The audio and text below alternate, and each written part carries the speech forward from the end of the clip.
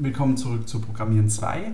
Wir werden uns in diesem Video mit dem einfachen Zugriff auf Binär- und Textdateien beschäftigen und das machen wir in, in .NET mit den Klassen System.io File und System.io File Info.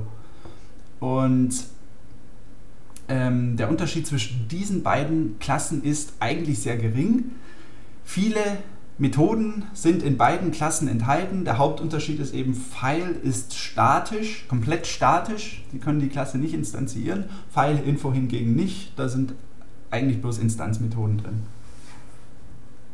Was ich Ihnen für mittelgroße bis große Objekte, äh, Projekte empfehlen würde, können Sie sich wahrscheinlich denken, dass Sie da eher File Info versuchen sollten einzusetzen.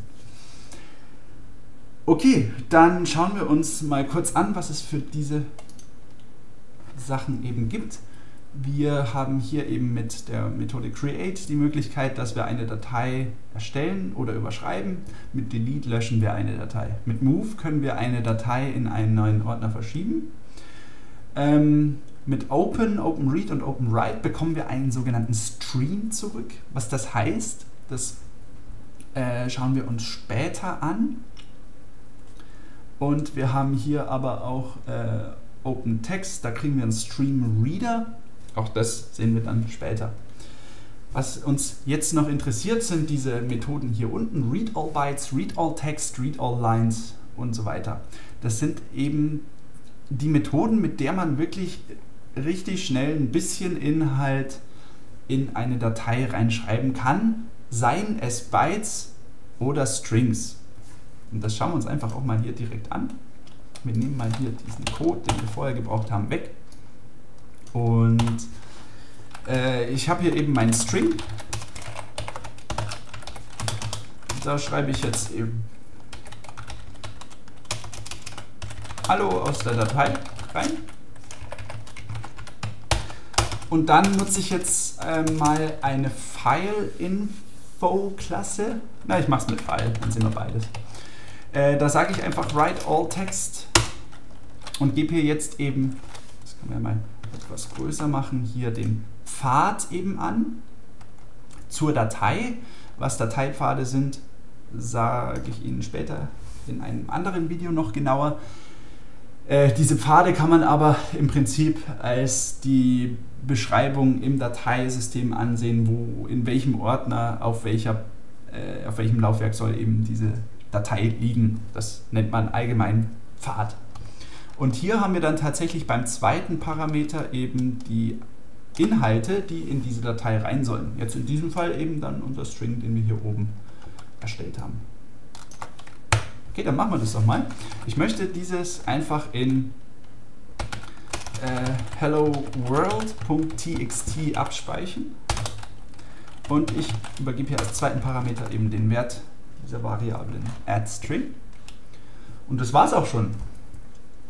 Wenn wir diesen Code hier ausführen, dann ist damit auch schon die komplette Datei geschrieben. Und das ist doch relativ einfach.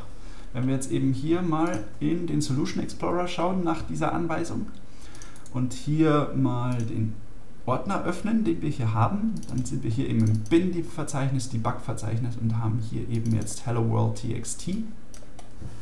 Und wir sehen hier oben eben, dass wir jetzt in dieser Hello World TXT tatsächlich auch unseren String, den wir vorher eben hatten, im, im Speicher jetzt in dieser Datei stehen. Das ist ja super easy.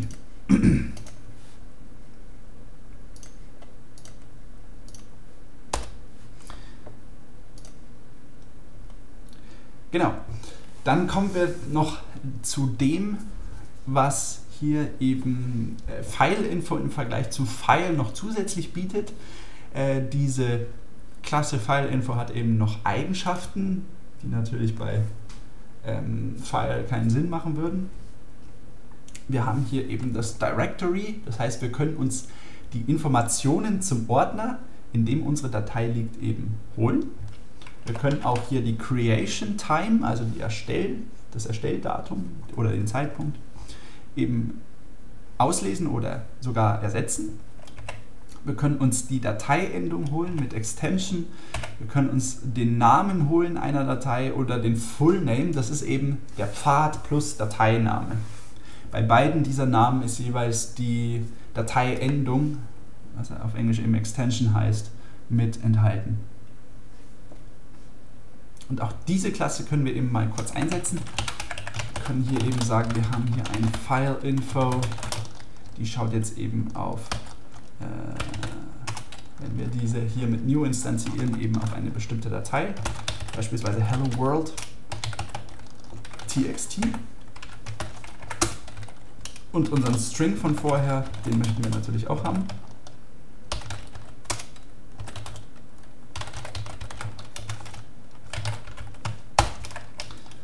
Und wir können jetzt zum Beispiel die File-Info eben einsetzen und gucken mit der Eigenschaft exists, ob diese Datei gerade so wie sie ist existiert. Und ich kann ja mal gucken, wenn das eben der Fall ist, äh, der, der Fall ist, dann kann ich hier eben sagen, ähm, gibt es jetzt hier diese Methode write all? Ah, die gibt es wahrscheinlich hier natürlich nicht. Append Text. Das können wir natürlich mal ausprobieren. Und hier müssen wir eben, also wir kriegen hier einen Stream weiter zurück und so weiter. Okay, also mit der File-Info-Methode gibt es eben nicht diese Sachen, dass wir einfach write all bytes oder read all bytes haben. Das war jetzt ein Fehler von mir.